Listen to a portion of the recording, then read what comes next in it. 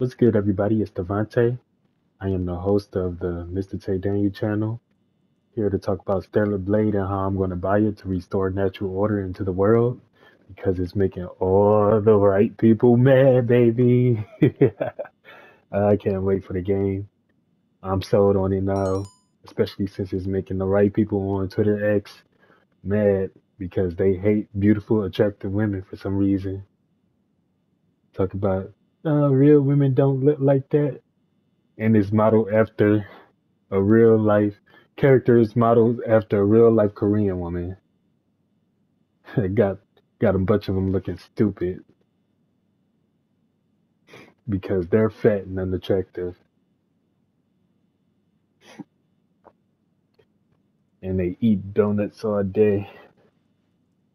Yeah, I can't wait to buy it. Hmm, I might buy the deluxe edition just to further restore more balance into the world. Yeah, just because you're unattractive doesn't mean our video game femme fatales have to be unattractive.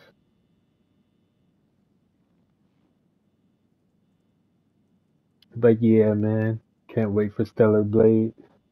Might get that deluxe edition. You know what? I think I will. Hopefully, it's a, a physical copy of it because I prefer to buy physical copies of my video games.